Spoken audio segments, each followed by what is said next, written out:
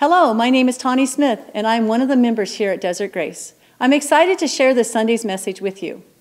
Would you take a moment right now to subscribe to our channel?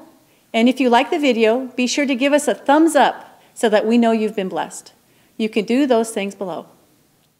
Um, unira, uner, unilateral, whew, unilateral describes something done or undertaken by one party. So if you have two parties that maybe ought to be a part of a decision, unilateral is one of those parties making the choice without involving the other, right?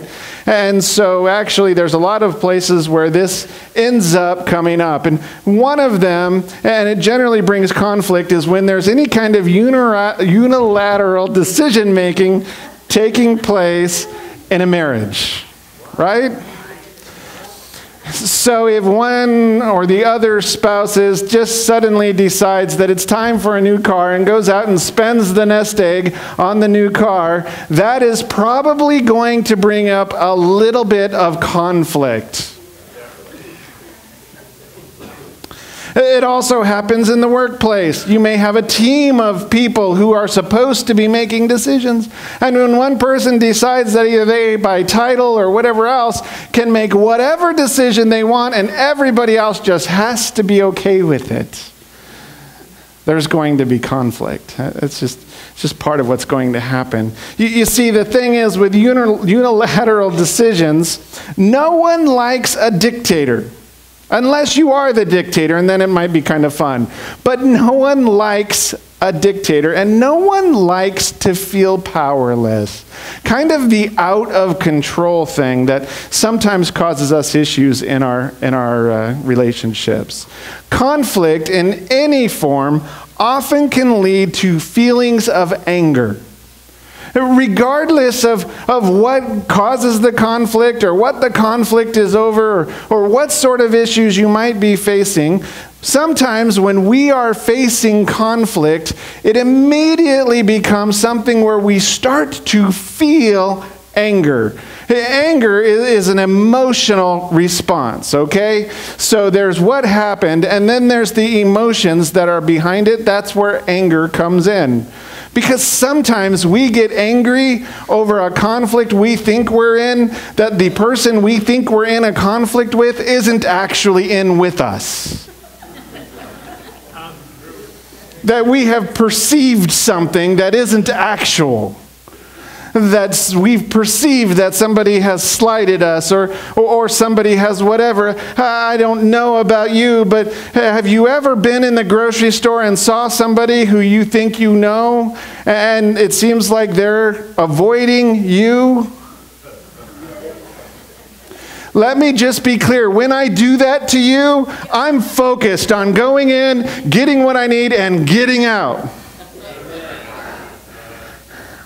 I might or might not notice that you're three aisles over trying to chase me down. but don't be angry over it. If I don't want to talk to you, you'll come up and say hi, and I'll say, I don't know you. Three times? Three times, yeah. we, by our very natures, are going to experience some conflict every single day. Uh, maybe, maybe you can manage not to have any conflict, but I don't think it's true. If you were to stay at home all day long, you are going to have conflict. You want to know how I know this? It's just when you start to relax that the telemarketer signal goes off and they begin to call. It's just when you thought it was safe to turn on the TV that the news person is talking about something that just really irritates you. And if you have kids, it's just when you begin to doze off that the radar goes off and they need a very important question answered. Like, can I use the restroom?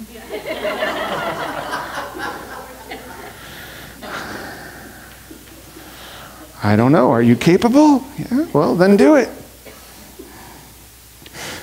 We've been talking about the root of all conflict. The root of all conflict is our conflict with God. And by the way, we haven't really talked about this leading up to this sermon. For those of you who haven't been here, I'm going to go through it all real quickly. But for those of you that have, I want to stop and park on this for just a second. Because one of the problems that we have is that sometimes we go into an all out war with God, and then we get angry with God that He's so far away that we haven't reconciled with him. Now, God has come to reconcile with us, but then we say, hey, uh, you know what? Not good enough. So you sent your son to die for us. What about this? What about that? I've seen people do this. I've seen people who, who they have, have started a war with God, sinned against Him, and they, they don't understand why their life isn't going well. But then they throw up every reason why they should not be a friend of God every reason why they should not be in harmony with God. And they talk about the children that get hurt. They talk about diseases that ravage. They, they talk about things which are really just sin in the world that just took over when we fell into sin and started our all out war. We have to be careful about that anger. We do, and make sure that we have settled our conflict with God. One of the main sources of conflict is pride, our, our, conceit, or our ego. And what does this result in? You may remember if you've been with us the last few weeks, it results in us needing to be little g gods and goddesses, where we need to be worshiped ourselves where we are demanding from others that they treat us a certain way and that they approach us a certain way and that they do things around us a certain way and that we become the most important. That's going to cause some pride. One of the things that concerns us is that we tend to want to be in control, but we really don't have any control. We don't have any control, and sometimes this has caused issues because we want people to come to us in certain ways, and when they don't, then they have offended us, then we might get angry, and then we cut them out of our lives forever. But the other thing that we sometimes do is we expect others to come to us. And like I said a little bit ago, sometimes other people don't know they've offended us, and we're sitting around waiting for them to come and apologize, and they may die in the process, or you might die. And either way, it's not healthy. So realize you don't have control. We generally use this dysfunctional conflict resolution model where it's dependent on you coming to me and not me coming to you where, hey, if you have wronged me, you need to come to me and make things right. It's, it's on your shoulders to do. Well, God has a different idea. You know, He came to us first, not us to Him. That's the good news. The good news is that God has given us this gift of reconciliation. He said, I want to be your friend. I want to live in harmony with you. That's exciting. Come on. Takes longer if you guys don't amen very often. Huh? You're sleeping in the first five minutes. We're going to anyway. he calls us then to be ambassadors of the gift that he has given us. That we become his ambassadors, which means that we can legitimately put everything aside because we need to see everyone else in our world as God sees them. That's exciting stuff it frees us up to, to just worship God. That's really what it is. But one of the things we haven't yet talked about is what the effect of conflict on worship is. Because there is an effect of conflict on worship. And, and while I wouldn't say that it, it has to be every time or, or all the time, I do think there are times when we enter God's throne room in, in a sort of self centered, egotistical, trying to control things way. And I think there's times when we enter God's realm angry when we ought not be angry. Jesus speaks about this in the Sermon on the Mount. And, and some of you, this is a very familiar passage. It's something that, you know, really easy for us to follow. We don't usually have to think too much about it, um, but you you might be familiar with the passage. This is Matthew chapter 5. Starting at verse 21, we're going to go to verse 26. You have heard it was said to the people long ago, You shall not murder. And anyone who murders will be subject to judgment. But I tell you, that anyone who is angry with a brother or sister, and by the way, everyone is your brother and sister, will be subject to judgment. Again, anyone who says to a brother or sister, and everyone is your brother and sister, Raca is answerable to the court. No one's ever called me that. And anyone who says, you fool, will be in danger of the fire of hell. Therefore, if you are offering your gift at the altar and there remember that your brother or sister has something against you, leave your gift there in front of the altar. First go and be reconciled to them, and then come and offer your gift. Settle matters quickly with your adversary who is taking you to court. Do it while you are still together on the way, or your adversary may hand you over to the judge, and the judge may hand you over to the officer, and you might be thrown into prison. Truly, I tell you, you will not get out until you have paid the last penny. Jesus starts off there, and, and he makes that really incredible statement, right? You've heard it said that you shouldn't murder somebody else. You shouldn't take somebody uh, else, else's life. And I've, I've talked about this a few times in a few different things. And, and one of the things that I always say is I don't think too many of us are really struggling much with the idea of I'm going to go out and actually literally kill somebody. Now, occasionally I'll bring that up and somebody will kind of give me sort of a, a nervous chuckle. And I'm keeping notes. You'll know you're on the list if ever you say, I'd like to have an appointment with you, and I say, okay, in a public place. or are you angry with me? Because if you are, it definitely needs to be in a public place. I don't think most of us are going around. We can be so angry at somebody, but our first thought is, and I'm going to take that person out, hopefully. If you have, let's talk later in public, somewhere where we can well, out on the patio would be okay. Lots of people around, okay? You know, normally, I don't know too many people that go, you know, hey, I'd like to have an accountability group. Could you, could you put together an accountability group? Sure, what, what do you want to be held accountable to? Well, you know, I'm really worried I'm going to kill somebody. I just, it's not, it's not something that normally comes up in, in, in conversation, and, and I think people would keep that to themselves anyway. Jesus, though, says that anger is a sin equal to murder. If sin is what separates us from God, eh, basically, God is saying when you get angry at somebody else, it's just like as though you had killed them, as far as I'm concerned. Now, most of us want to put a little asterisk in there. We want to put a little footnote down at the bottom, and we want to say that God only meant that if they didn't make you mad first. right? That there are certain things. But, but what, what Jesus says is that if you are angry, you'll be answerable in a court. In like a court of law, just for being angry, if that was something that we could go to court, our courts would be so jam packed. If every time somebody was angry at somebody else, we said, all right, fine, we'll go to court and get this settled. Some of us would spend all day in court.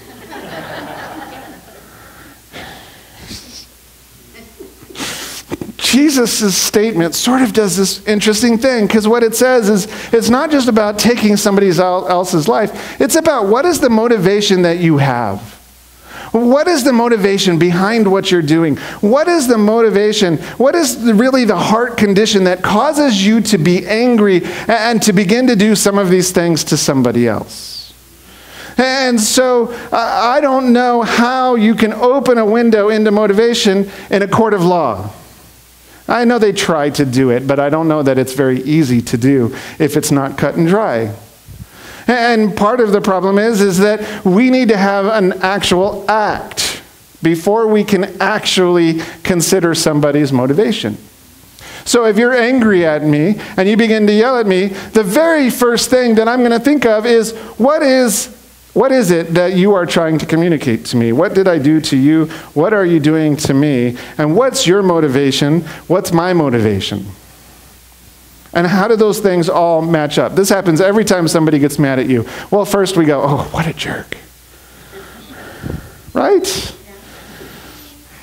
I only know that because nobody ever gets mad at me except when I'm driving.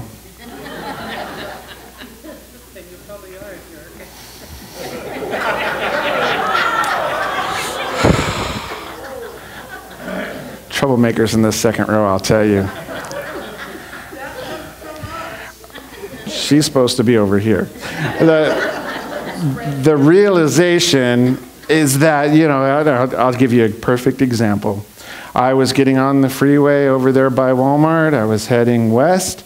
There was a car way back there. It was going kind of fast. But you know how when you're getting on the freeway, people oftentimes will jump in because there's nobody else around? Well, I realized about the time that I couldn't really slow down or go any faster than they were going, that they weren't going to move, and we were going to be at the same time at the same place. And so, in a sense, I ended up cutting them off. And so, this nice, wonderful older couple who slowed down to wave at me with only one finger and. I'm pretty sure they were telling me that they appreciated that that I was on the road with them and that, you know, they looked a little angry about it. Maybe they, I don't know. I don't, you know, those are the sorts of things. Did I intentionally do something? Was my motivation to hurt them? Of course not. Anyway, we have to be careful about this. So we have to have the act to even consider what the motivation might be. Right? Because without an act, all I have to do is consider what motivated you to do whatever it is that you didn't do. Right? So, let me kind of break this down a little further. You all committed an act this morning that allows me to consider where your heart might be. Are you ready? You came in and you sat down. That was an act. Now, what is your motivation? I would hope that your motivation was that you came in here because we are going to worship God. It's going to be a wonderful time together. When we leave, we will have encountered God. Either that, or you just know that, hey, I might tell a joke or two and you might have something new to say. In the end, only God knows our heart. How can a local court judge, if we were to take people to court over these things, how could a local court judge see any kind of motivation other than to look at our act and take a wild, passionate guess? There's no possible way. Jesus goes a little further. He says, even using an insult towards someone is a no no. That's where you get the whole, the whole thing about don't call people names. He actually says a little further in this one that you're not just simply subject to judgment, that you're not simply going to end up in court, you're going to end up in Gehenna, which is basically the fiery place. And so it's basically this idea. Now, the Gehenna is really the valley of Hinnom, and there was a lot of things that were a part of that. They had human sacrifices there. They, they eventually just started burning all of their trash there. And so basically, what Jesus is saying, you're going to be subject, and you, when you insult somebody, to being thrown on the trash heap and burnt to, to ashes. That's basically what he's saying. And so he gives a couple of things. Raca is a transliteration of a, uh, oh my goodness, it was a uh, Hebrew word or a Greek word, I don't remember. No one is exactly certain what it means, but it's something like this blockhead, idiot, fool. Um, exactly what they meant it as. Let's just put it this way it is not a complimentary word. You didn't walk up to somebody you loved and say, hey, how's it going? You know, it just wasn't part of it. Here's something that's really important to us. Now, we in today's day and age often will give nicknames, right? We'll often call people by a nickname or some other name or whatever else. Back then, your original name had a, a specific meaning. And so, if somebody called you something else, what they were really saying was, This is who you really are in your character. So, like now, you know, you ever meet somebody and you're like, hey, that person's name is whatever, but I keep thinking of them as this because they look like one of these to me? Some of you that. but you know, you kind of have this thing, and when we name our kids, and, and we don't necessarily think, okay, I'm naming my kids so that they will become this kind of person. But back then, that's what you did. So you would never name your kid, hey, fool. Uh, of course, some of the names people are coming up with this day. This, did you just like go to a Scrabble game and the first six letters you pulled out are the name? I'm not, anyway. It's possible that fool could be translated rebel, specifically a rebel against God. Now, that doesn't sound like it's the worst insult in the world. But again, when we're talking about these are names that then describe who you are, who become your very identity, then essentially what happens if somebody calls you a rebel against God, they are basically saying you are going to hell. You, you are not worthy. You are not anything else. So somebody uses that kind of language. It's not just a matter of sort of a careless, oh, you cut me off in traffic sort of thing. It's actually saying, this is me judging you as a person. And I'm giving you a new name, and your new name is Raca, idiot, blockhead, whatever, or fool, or rebel. Uh, that's a difficult thing for us to do. Now, I want us to make sure we have this straight. We have a duty to judge actions. To look at something and go, that is something that either pleases God or that is something that displeases God. And we should be doing that, and, especially within the church, in a way of being able to say, you know what, let me come and talk to you about something. There's actually a whole biblical process about what should happen if somebody is doing something wrong so that we can be correcting, that we can do it in love. We wouldn't just immediately call a name and say, This is who you are because we're judging you. Saying one is behaving foolishly isn't saying that that person is a fool, especially in our day and age. But to say that was a foolish action, that's okay. It's, it's loving and correcting, right? So here's one other thing. When we hurl insults at somebody else, it's sometimes a sign of an inability to be forgiving. I'm pretty sure the older couple that passed me on the roadway were trying to forgive me.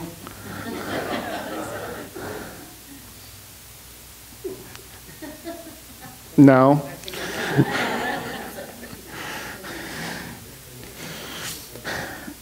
but the willingness to say, this is something that I could also do a mistake I could also make. This is a hurt that I could inflict on somebody else. This is something that isn't unique to me, but part of our human condition.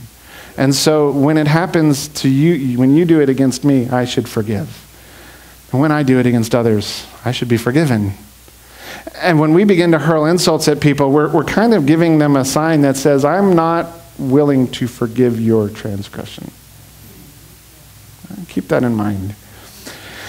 Jesus sort of establishes this manner, and then he says, Look, reconciliation needs to come before worship. So you have this idea of here is the problem. You've heard it said that you should not murder, or you'll be answerable. I say that not only should you not murder, but when you are angry at someone else, you have separated yourself from me. When you are hurling insults at somebody else, you are separating yourself from me. That's what God says. I didn't make that up. It's in the scripture. We already read it. If you need to go back and read it again, go for it. But the reality is that Jesus says, look, before anything else, we need to have this reconciliation in our lives. Austin, I lost control.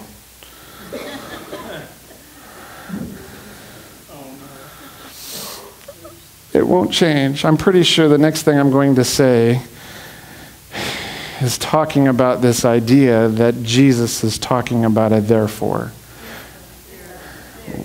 We know that any time that you get to therefore in the Bible, you need to figure out what it's so he says, in light of everything that you just heard me say about murder and about anger and about insults, here's what you need to know. If you remember that someone has something against you, leave your gift there at the altar, go make it right, and then come back. Now, here's the problem with that kind of thinking in our day and age. We do have altars up here, we only offer sacrifices of praise and prayer at them. But back in Jesus' time, they were offering a little more than praises and prayer. They were offering a little more like, I don't know, a goat or a lamb or a dove, right? And so here's what happens in my uh, imagination is that you have this incredible practical issue. Because if I have come to the altar with my goat ready to sacrifice it to, to the Lord and go, oh, oh, I got to go make things right with so and so. Let me just leave this here and leave. There's going to be a little goat running around, or some doves flying all over the room. Didn't think about that when we read the passage, did you? You were thinking, oh, well, I'll bring my check and I'll leave the check on the altar. That would be fine. The check wouldn't go anywhere. But a, a, living sacrifice that you are bringing to the altar is going to go away. By the time you find whoever it is and come back, it's going to be gone. And I say that because uh, there's a lot of scholars that kind of go, you know, is Jesus just sort of using a lot of exaggeration here? Because this is not practical. This is an issue. And I think part of what Jesus is trying to do is say, settle these things before you ever think about coming into worship. That part of getting ready to worship me is going through the accounts of everybody in your life and saying, hey, is there somebody that I need to make things right with? And by the way, sometimes you need to make right something that the other person doesn't know is wrong. I'll never forget a time when I was in college and, and I ran sound for chapel and the, the men's choir was going to sing for chapel and, and the, the director of the choir gave me some very specific instructions on how he wanted the sound run.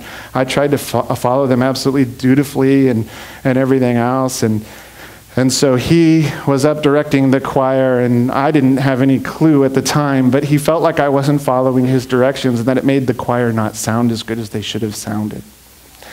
And so he was getting more and more angry with me. And, and by the time he was done, he was really upset that I had ruined his concert. He never told me this, ever. But later on, he went over and he was talking to some of his fellow music faculty members, and one of them said, That was the best I've ever heard your choir sound. and another one said, Yes, you know, the voice mixing and all of that, and, and the sound guy didn't overdo this or underdo this. It was just perfect. So now he had gotten himself all angry because it sounds different when you're on stage than when you're in the audience. And he was all riled up. Now, I could have gone my entire life never knowing that he was really angry with me. But I also worked for security, and we had a little booth at the front of the campus, and this particular professor lived just a couple blocks off campus, so he always walked. And one Saturday morning, it's nice and quiet, and I'm studying, looking around, and here he comes walking up, stops to tell me, Hey, I need to, to, to ask for your forgiveness. What? And recounts the whole story. That's how I know the story to tell you. And says, Would you forgive me? And I, Of course I will. I mean, I didn't even know you were mad. so, so, to, to think about the idea that, that in order for us to be right with other people, sometimes we have to go to people who didn't know we were mad at them, even though we know that we were mad at them, and to say, I need to reconcile with you. There's an issue here. And we got to be careful about that. I want to make sure you understand that I think this whole thing is less about practice and more about urgency. That it's less about, hey, I'm here with my doves to, to uh, sacrifice them to the Lord and offer them to the Lord. And oh no, I need to make things right with so and so. I think it's more about, hey, when you get there and you realize this, the very next thing on your list had better be to go and reconcile. Don't stop, don't pass go, don't collect $200, just go reconcile. Because it's urgent, it's important. The urgency that we should have in our lives is toward reconciliation. Two of you. It might be implied that angry worship is not acceptable to God. Think about that for a minute. That what Jesus is saying is God would rather not have your sacrifice if you're angry. Not just if you're angry with God, but if you're angry with any brother or sister. I don't know. I want to pretend like God is just happy no matter what, right? But God does want certain things from us, and, and clearly He wants us to get along with our brothers and our sisters. He talks about it a lot. So I'm thinking that Jesus is telling us that we'd better have things right, or God isn't very happy with whatever we have to offer. Another urgent reconciliation that Jesus speaks of is settling with an adversary out of court. The, the word translated adversary in the NIV can only be used for someone who's taking you to court. That's it. It's the only possibility. And so the idea is that someone is taking you to court, someone is going to, to, to get you in front of a judge, and something is going to happen. And what Jesus said is regardless of anything else, settle the matter before you get to court. Don't wait. Don't wait until you're in front of the judge and hope for the best. Don't wait until everything else is just right and do it then. You should go now and try to settle. It says settle on the way. On the way could be like, oh, I don't know, anything between here and there, right? And from the moment that you first find out you're going to go to court, all the way up, try to do it before you're walking through the doors. I think that's what he's saying. I read a lot of commentaries on this. Some of them say, you know, maybe there's an idea here that it's an unfair accusation. Not that that ever happens, anybody would sue somebody unfairly, but, but maybe it's an unfair accusation or, or a false witness or anything like that. I don't know that it matters. It doesn't necessarily imply that to me in the text, and, and I'll get to that right now, because in verse 26, it sort of suggests this is a debt. This is a financial thing. Now, one of the problems with that is that the Jews didn't have a debtor's prison. So it's not thinking of a Jewish prison. But, uh, but the reality is, is that it says you're going to be put in jail until the last penny is paid in full. So this is somebody you may owe money to. And what Jesus is saying is don't wait, settle it now. Make the matter before you get to court.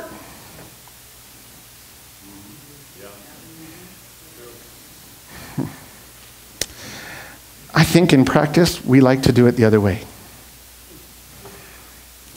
I think in practice, the other person knows they're right or they wouldn't be taking you to court. And of course, you know you're right, so you're ready to defend yourself. I remember getting a traffic ticket once, and I was sick when I got the ticket, and it was a parking ticket, and I didn't think it was right. I was with the car and everything else. And I decided that I was going to fight this ticket. I took pictures of the fact that there weren't any signs that even warned me about such a thing. I was ready to go, and I was going to fight this. Just, I was just, I was ready. And, and so they have everybody come in and, and you're in this it actually was more like a trailer than a real courtroom but it doesn't matter. There was a judge there were all these people and and the room was just jam packed with people who were sure they were right.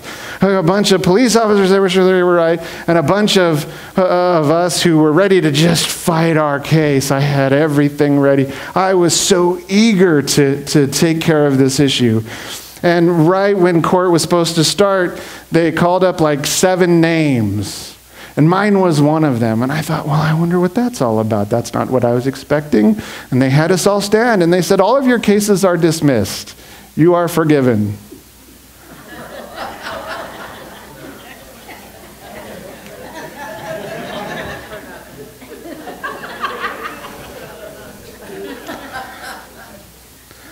I got pictures and documentation.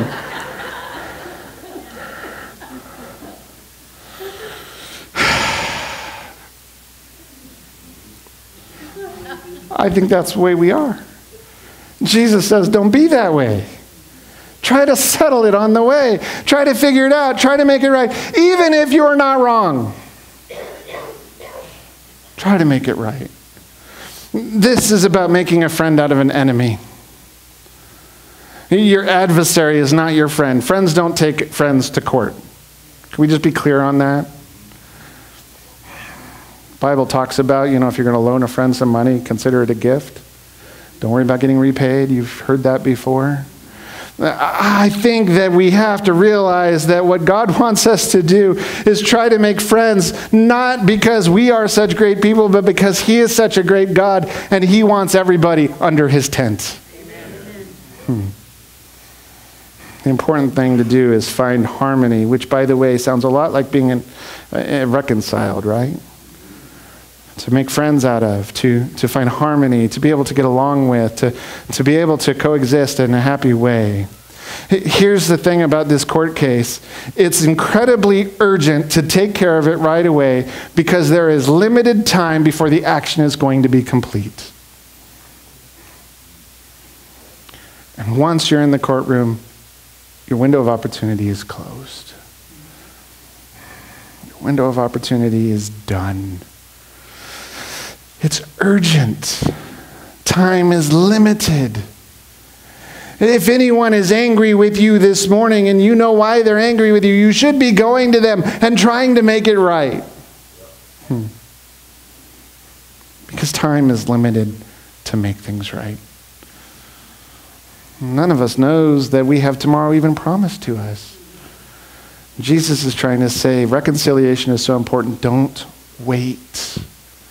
Don't wait. Because there's no possibility for something else to happen once the judgment is handed down. There's a couple other thoughts you can have in there, and I'll save you the time. These examples show that there's no better time than now to reconcile. Whether you're angry at somebody, whether you keep thinking you should call somebody a particular name that might not be flattering, whatever it might be, there's no better time than right now to reconcile with whoever it should be. Did want to point out, though, that with one issue with reconciliation is that it takes two. It takes two. You can't reconcile and be one sided reconciliation. The other person has to accept what you're saying. When you look at Jesus, you might have noticed that his ministry created a lot of conflict. You might have noticed that everywhere that Jesus went, people were calling him names, were talking bad about him, all of these sorts of things. And he, I'm sure, would love to have reconciled with everybody. But it takes two. It takes two. I think that's a hard idea for us. How do we define success? We define success as essentially we got what we went in to get. So we sometimes withhold reconciliation because we're concerned that when we go, reconciliation won't happen. The number one reason why friends don't bring up other friends' inequities and try to make things right is because they're worried they're going to lose the friend forever. Hmm. Because it takes two. When you think of everything that Jesus went through and what was his whole role? Reconciliation. Reconciliation. I thought, you know, what would Jesus be like if he had demanded reconciliation? No, you must reconcile with me. I don't know what that would be like. Thought about this. Paul's words back when we studied the very first sermon in this series that we are to implore people to reconcile that our role is uh, as ambassadors of Christ to go to people and implore them to accept the same reconciliation that we have accepted to eliminate our conflict with God. So it may take two, But our job is to implore other people to be reconciled to God and to one another. That, that's our job. But in the end, an offer of friendship and harmony just might not be accepted. Didn't work for God necessarily every time, does it? Doesn't work for us every time. That professor that came up, I could have said, Well, you jerk. I did my best. that wouldn't have ended very well, I'll just tell you that. wouldn't be nearly the same story it is today. But the reality is there. God wants everyone to do it. Not everyone's going to accept. And I think Jesus' concern is not so much about whether or not we're out saving the entire world. I think Jesus' concern is about how good of a job we're doing at being his ambassadors. Are we going out and seeing people with his eyes? Are we going out and imploring people to be reconciled to him? Are we doing our best to be reconciled with one another and with those around us? Hmm.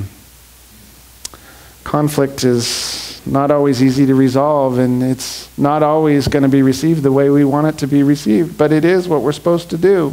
We've got to make sure that we are trying to resolve it, or it's going to seep into other areas of our life, and we're going to have problem after problem after problem after problem.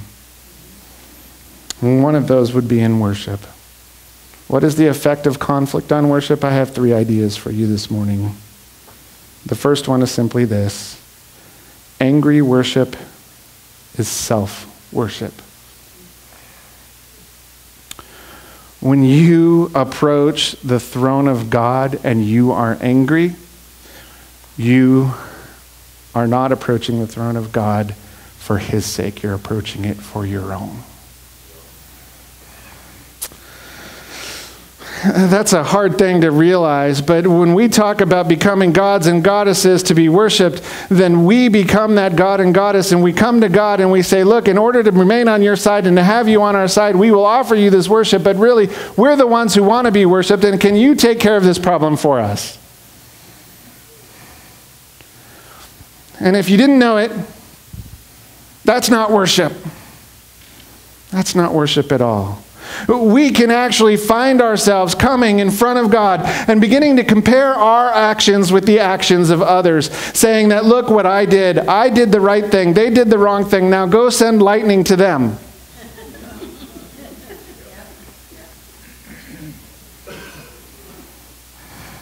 nah, we wouldn't do that on a Sunday. We want God to, to sort of validate our own position and kind of make the other person just, you know, make them pay, Lord. Make them pay. This is what happens when we're angry.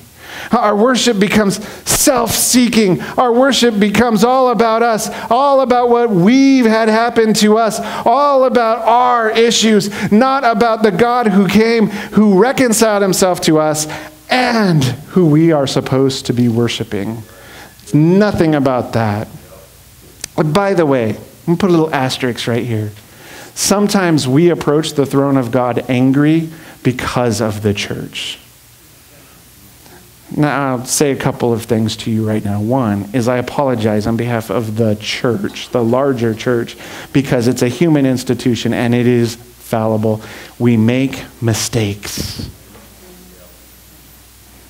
but hold our feet to the fire if we aren't keeping God first.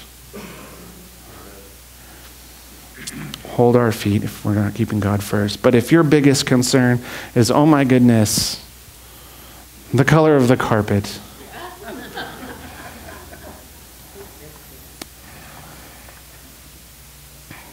The bathroom was not as clean as I thought it ought to be. The preacher's tie is ugly. I've heard that before, just so you know. Could have picked a better tie, Pastor. Okay. No reason to get angry about it. It's done now. So many different things.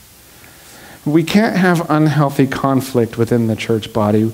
We talked a little bit last week about there's such thing as a healthy amount of conflict. Paul and Barnabas had a healthy amount of conflict. That was okay.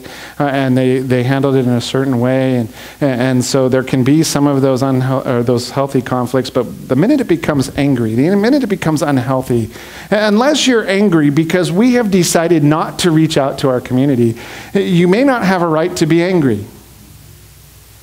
Because you may not be worshiping God, you might be worshiping you. We've got to avoid self worship. Ideally, let's deal with conflict before we're angry. Hmm. That'd be easy. Second thing is angry worship is false worship.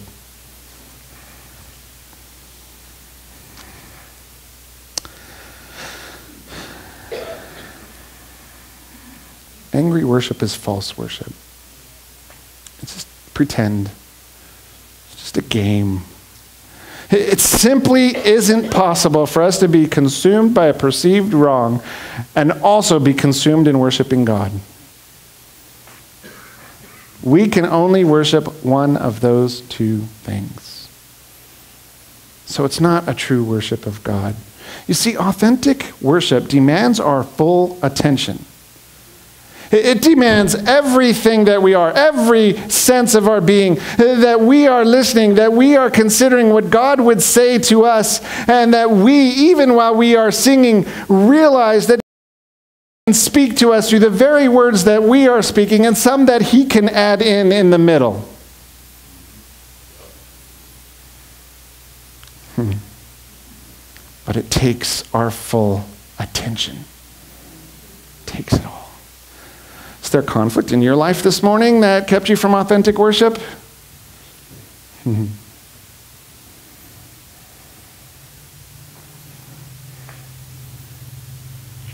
Nah, not in this room. We would never do that.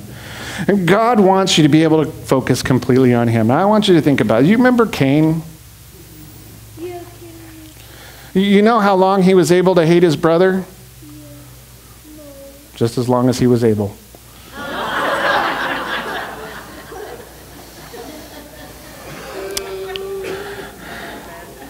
I can't help it. The reality is that you know that one's offering was accepted and one's offering was not accepted. And of course, Cain being the one that didn't have his offering accepted, got a little bit angry. Imagine what happens when you're angry because God accepts one offering but not yours. And what do we tend to do when that happens? Do we say, Oh, Lord, let me use my sort of anger to do the right thing? we walk away from God. We have no idea why Cain's wasn't accepted, but is it because he was angry? Hmm. Finally, angry worship is lonely worship.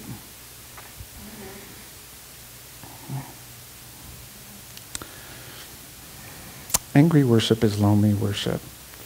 When we are angry, we are actually worshiping unilaterally. Okay? And here's what I mean by that. When we are angry, we are not connected to the rest of the people who are sitting in this room because we're usually focused on what we're angry about. And there may not be anybody else in here angry as you. The second thing is, when you are so angry that you're only thinking about what it is that you're angry about, you are not participating with God he's not able to get through. Have you thought about that? Conflict, anger, it places the emphasis on you, it places the emphasis on me, even when we think we're trying to come to God. Anger has no point, no place in worship. simplest solution is to consider yourself an ambassador.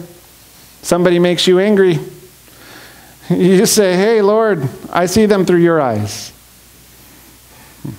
They're worthy of love, they're worthy of forgiveness. And even if that other person can't or isn't willing to participate, I'm going to do my part. It may not end up in wonderful things. We talked about that. But if we do our part, we've done everything we need to do. And in case I haven't mentioned it yet, this is an urgent matter. We don't have time to wait. We don't know how much time we have to make things right or to have things go the way God wants them to go. We need to be working now. Just a quick reminder we should solve our conflicts like Christ resolved his conflicts. First thing he did is he released all control. It's all in the Father's hands. It's all what the Father's will is. It's all about the Father. The second thing is, is he was totally focused on others. When we can release control and we are no longer the ones who need to be made happy or whatever else, we can focus on other people's needs and what other people want. And then finally, we will reflect God's character to those around us.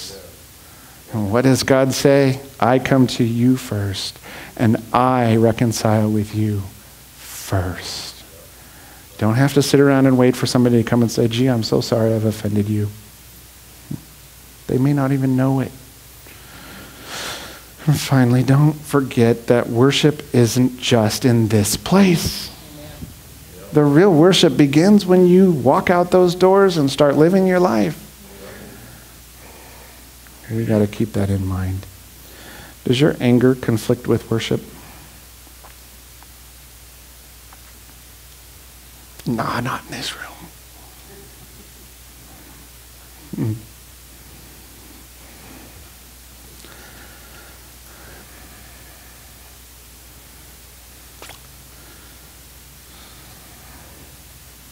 Don't kill people. Don't be angry with people. Don't hurl insults at, pe- insults at people. Approach God as an agent of reconciliation. That's worship. Heavenly Father, we thank you so much for the opportunity to be in this place this morning. We thank you that you first came to reconcile with us. We thank you that you are a God who, who just works in mighty ways. And that one of the ways you work is you just allow us to simply look at what you want to do in our lives. And that we can just allow you to do that very thing. Lord, if there's any here this morning who are angry, if there's any here this morning who are just feeling so hurt that this morning they were more concentrated on whatever their pain is than you, take that pain away. Help us to be agents of recon- reconciliation. Help all of the conflicts that we may face this week be reflective of how you would resolve them. And Lord, we just ask your blessings on each and every one that's here, and that you'd keep us safe until we have the opportunity to worship you together once again. In your name we pray. Amen. Thanks for watching this sermon with me. If you've enjoyed your time with us, we'd invite you to join us in person for service. Visit us at desertgrace.org or give us a call at 928 305 1132 for more information.